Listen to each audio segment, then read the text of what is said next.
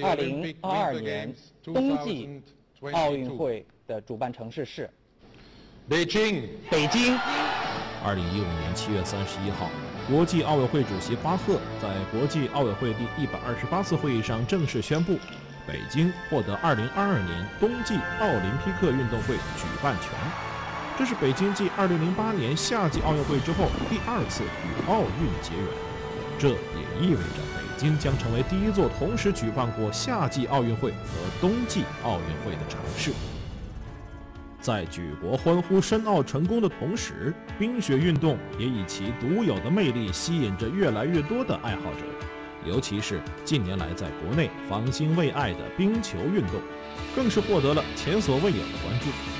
冰球在冰面上进行，极快的速度、激烈的对抗和冲撞、快速攻防转换，都是其他体育项目很难同时具有的，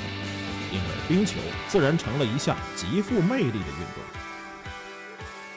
作为北方的代表城市，在沈阳就有这样一支酷酷的冰球童子军。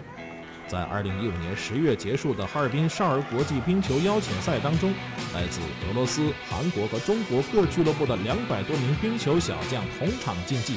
一支新生的少年冰球队在八到十二岁组别的对抗当中脱颖而出，表现强。